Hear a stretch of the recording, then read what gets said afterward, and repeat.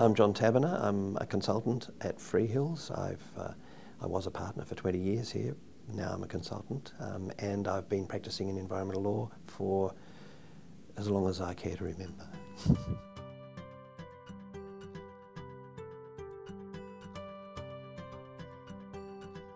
well, there's a good deal of similarity between what was proposed, first of all, in um, uh, at the beginning of uh, 20. 10 um, and what's now in place, um, but substantial differences too.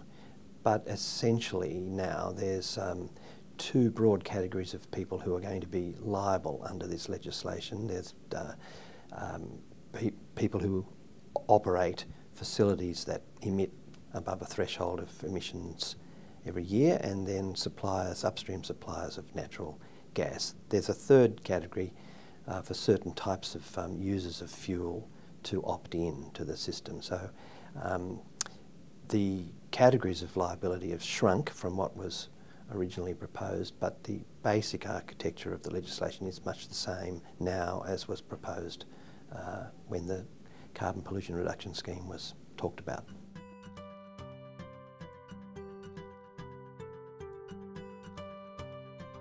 It's a curious central feature of the Act is this, that um, uh, it's not strictly speaking a requirement that uh, liable entities uh, acquire and surrender carbon units, as they're called, or carbon permits.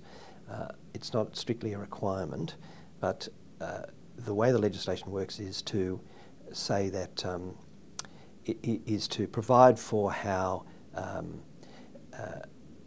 uh, emissions levels are to be calculated, or amounts of emissions to be calculated, and uh, then to say that if you have a unit shortfall, i.e. if you don't acquire and surrender um, a relevant number of units in any financial year, then you'll then, then a unit shortfall charge will be imposed.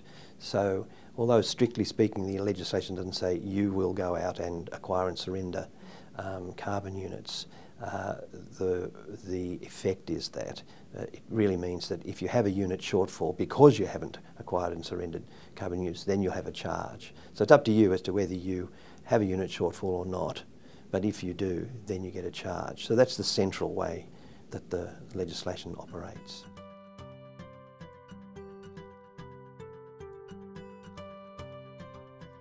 Well, first of all, they should try and understand them, and the the, um, the legislation. I mean, a, a, large task for lawyers is going to be just to get their heads around this legislation because there's uh, oh, 18 or 19 pieces of uh, central legislation to try and understand.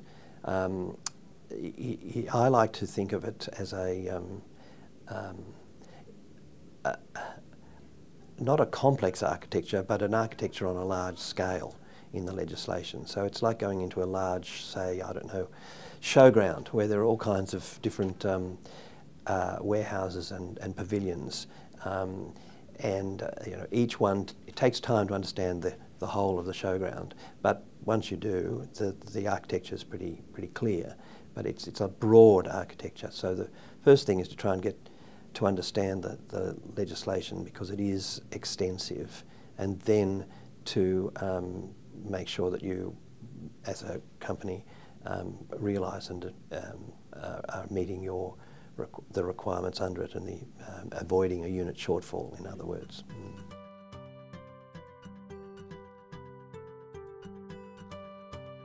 Well, the natural gas supply industry and people who depend on it uh, downstream will be, um, of course, affected by the legislation because that is the one um, upstream um, uh, liability that now remains from the CPRS, the Carbon Pollution Reduction Scheme.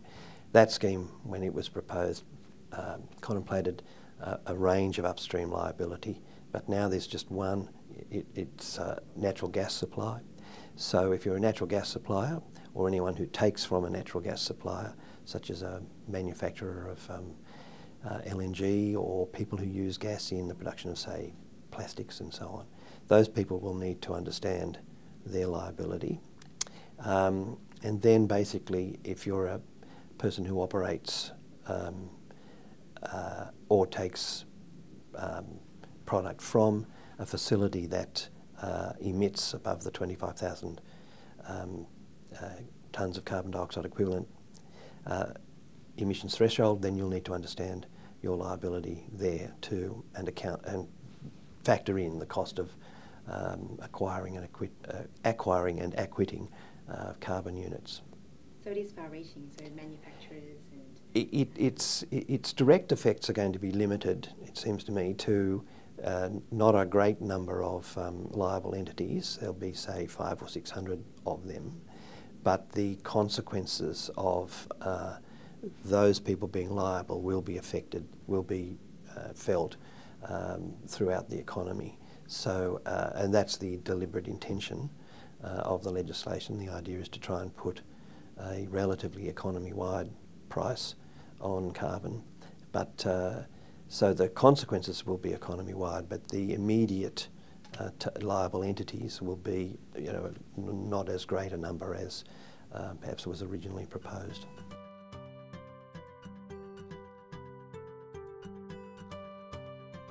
Yes, most, I would say it's true that, as I said, the, the number of liable entities is relatively small and, and uh, the companies who um, are liable entities have been aware of the fact that they're going to be liable entities for a time and I, in my experience, the comp those companies are um, by and large uh, well prepared. Um, the real issue, I think, is, for, is the downstream consequences and uh, for lawyers working out what the uh, existence of this carbon price means when um, dealing in dealing in transactions which have uh, asset value components that need to be uh, considered. So the whole question of asset value uh, over a period of time will be um, a critical one.